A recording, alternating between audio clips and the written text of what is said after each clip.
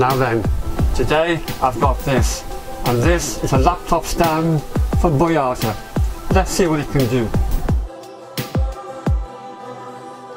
Scroll down to read my review and please press like and subscribe.